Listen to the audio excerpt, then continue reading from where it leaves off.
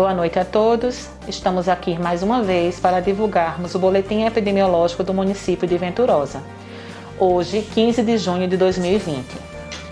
Nós temos hoje 14 pacientes em monitoramento, nenhum paciente suspeito, 67 pacientes descartados. Destes, 9 através do RT-PCR, 58 através do teste rápido. E estamos com 20 pacientes confirmados de Covid no nosso município.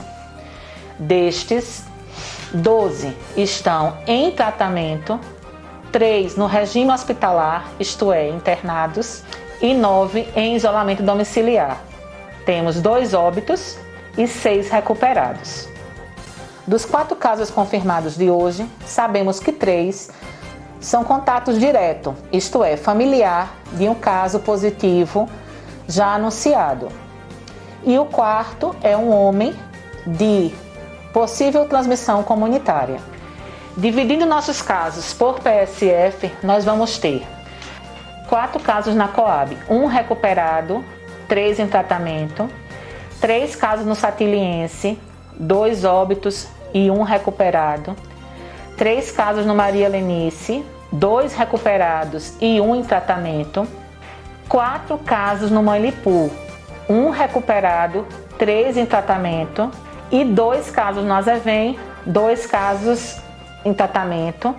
Pedra Fiche continua sem nenhum caso e o Bacurau nós estamos com um caso e está em tratamento. Nós vamos hoje mais uma vez pedir que as pessoas só saiam de casa para o estritamente necessário. Que esses próximos 15 dias serão de maior importância para o nosso município, tendo visto os casos aumentando. Então, quanto mais isolados ficarmos, melhor vai ser para o nosso município. Nós estamos falando de vida e nós estamos falando de números crescentes. E pensando nisso, a gente preferiu adiar a reabertura do comércio por entender que, estando as cidades vizinhas, como Caetés, Capoeiras, Alagoinha até Pesqueira, fechadas, iria aumentar o fluxo de pessoas no nosso comércio, o que poderia agravar este número crescente de casos. Quero falar hoje também de uma fonte de transmissão comum, inclusive de outras doenças, que serão celular, chaves e óculos.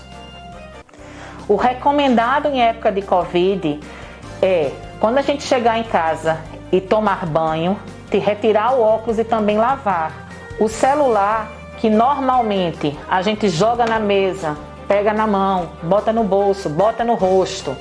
Alguém pega, é, fica passando o dia trocando mensagem no WhatsApp também é uma fonte de transmissão que precisa ser diariamente higienizada com álcool.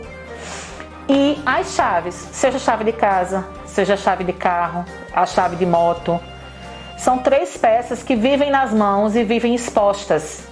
Então que precisamos diariamente ter esse cuidado de higienizar de uma forma atenta e todos os dias. Boa noite, até amanhã.